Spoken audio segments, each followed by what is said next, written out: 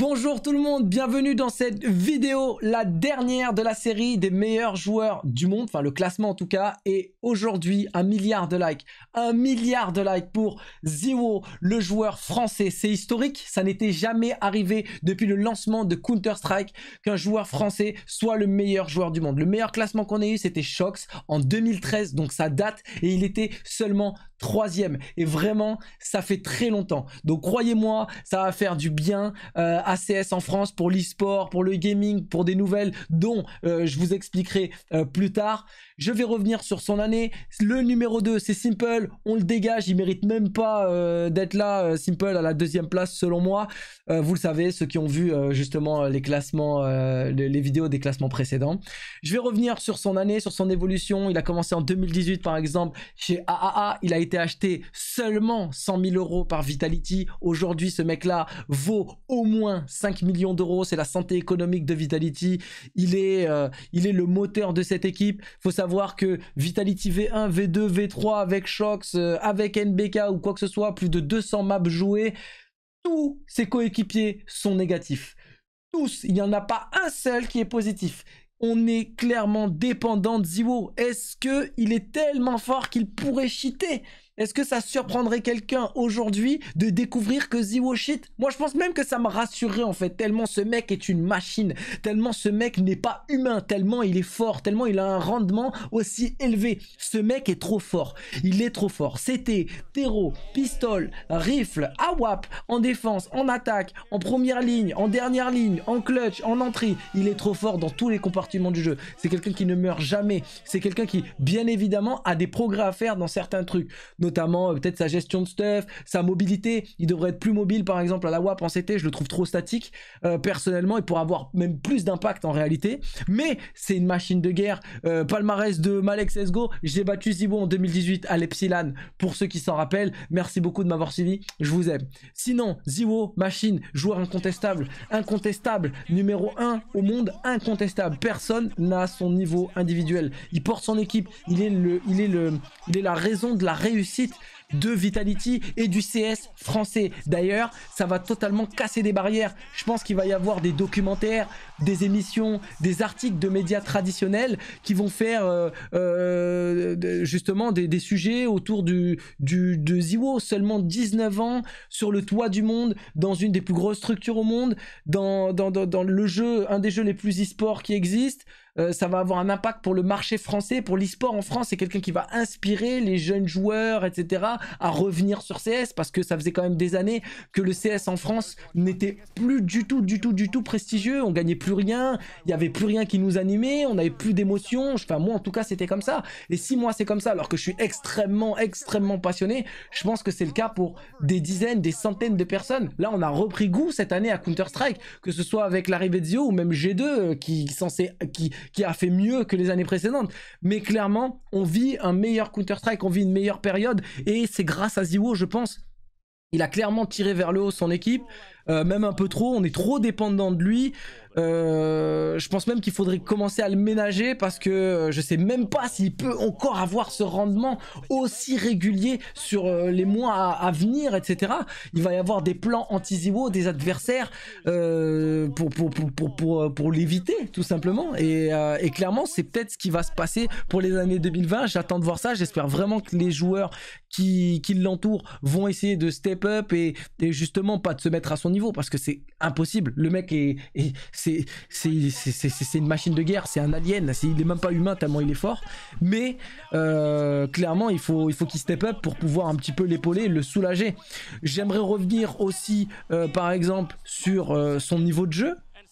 Il est tellement exceptionnel, il est tellement extraordinaire qu'il rend des choses, rend des choses infaisables, impossibles, banales des clutches, des rounds en infériorité numérique, des rounds où il est low HP dans des positions totalement euh, euh, exiguës, euh, désavantagées, il arrive à gagner les rounds, il arrive à gagner du temps, il arrive à remporter des kills en étant dans des difficultés inimaginables et contre les meilleurs joueurs du monde. C'est ça le truc, c'est qu'il joue même pas comme avant, parce qu'on l'a critiqué avant.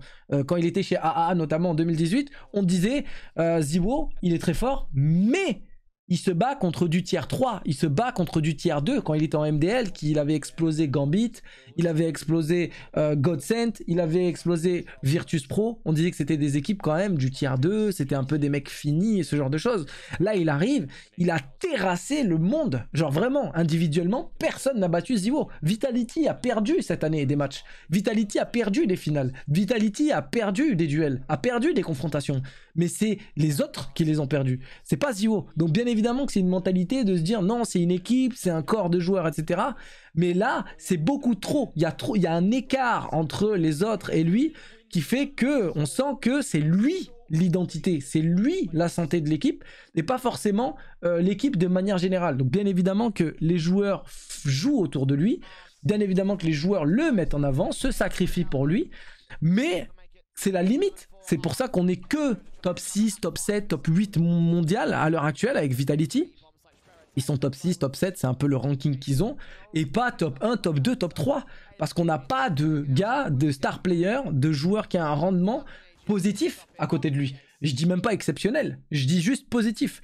Et euh, c'est là où Ziwo c'est incontestable. C'est le meilleur joueur. Il n'y a personne qui arrive à sa cheville. En termes de niveau, il est trop fort. C'est hétéro, passif, agressif, garder une ligne, décaler une ligne, à gauche, à droite, à la WAP, au rifle, au pistol. Le mec est trop fort tout le temps. Game sense, un instinct dans le jeu. Je pense que personne n'a son instinct dans le jeu. Je pense que c'est même sa plus grande valeur. Comment aujourd'hui on arrive à, mesurer, à quantifier le niveau et et dire à quel point il est précieux ce joueur. On, est incapable de le dire.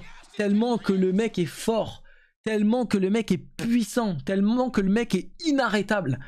Genre, on n'arrive même pas à dire ouais, mais là c'est bien, là c'est pas bien, comment il a fait pour faire ci, comment il a fait pour faire ça? juste, il le fait à l'instinct. C'est incroyable. On n'arrive même pas à dire ouais, mais il l'a fait parce que euh, bah là il a décalé à droite, là il avait l'avantage, là il avait pas l'avantage, là il avait une flash de ses potes. Non, le mec il est à moitié blanc, il fait des kills. Le mec il a pas de flash, il fait des kills. Il est dans des smokes, il fait des kills. Il dans des molos, il fait des kills. Il est low il fait des kills.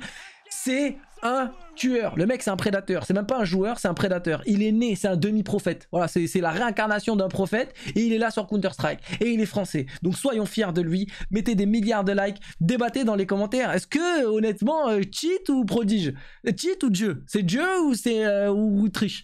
Genre, moi, je serais même pas étonné que le mec, on découvre qu'il triche. Je serais même pas étonné. Au contraire, au contraire, j'en serais même, j'en serais même rassuré en fait. Oh mais ça va, c'était pour ça en fait. Il trichait depuis tout ce temps. C'est pour ça qu'il était trop fort. Parce qu'on est tellement des humains euh, d'entrée de gamme, on comprend tellement pas qu'on se dit mais comment il fait, comment il fait? Faut qu'il faut qu'il y ait une explication on, est incapable de dire non, mais c'est juste qu'il a un talent, c'est juste qu'il est inné, c'est juste parce que 1 plus 1 égale 2. C'est impossible. C'est inexplicable la, qualité de ce joueur. C'est inexplicable le niveau que développe ce joueur. C'est inexplicable. J'aimerais juste qu'il triche pour dire ah, vas-y, c'est bon. On n'est juste pas des oufs en fait. Le mec, c'est un autiste, c'est un génie, gros. C'est le Mozart de Counter-Strike. Il est trop fort. C'est même moi qui l'ai surnommé Zinedine Zero. Rendez-vous compte. C'est une machine. Tellement fier, tellement content. Plaisir de fou de faire cette vidéo.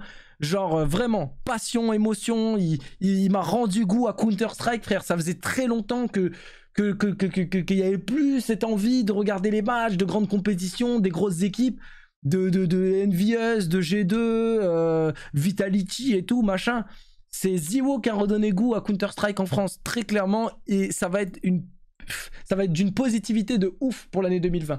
Je suis très très fier de faire cette vidéo, je suis très fier de lui. Je suis content au, maximum. Genre vraiment, on est les meilleurs joueurs au monde. Ça, il faut le savoir. Il faut juste qu'on en prenne conscience, qu'on se réveille. Et j'espère qu'il y a un prochain Ziwo qui regarde cette vidéo, qui est inspiré par ce joueur-là, qui est inspiré peut-être par mes vidéos aussi, qui va tryhard de ouf et que un jour euh, j'aurai le plaisir de faire une vidéo, une analyse d'un nouveau joueur qui, explose comme ça. Donc euh, force à tout le monde. 2020, c'est pour les Français. Ziwo, top 20, top meilleur joueur du monde 2019, meilleur joueur du monde 2020. On compte sur toi, mon pote.